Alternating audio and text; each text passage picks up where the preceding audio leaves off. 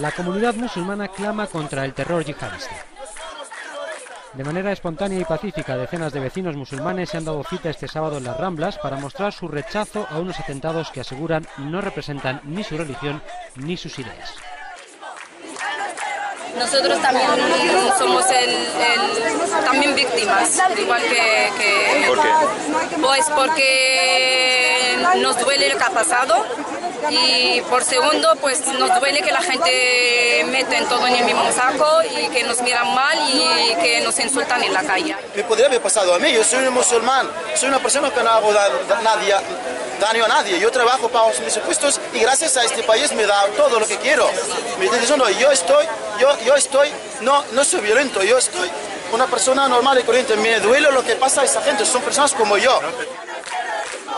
Las condenas de la comunidad musulmana han llegado desde diferentes instituciones islámicas en España y también desde otros países como el Reino Unido, recientemente escenario de varios ataques yihadistas.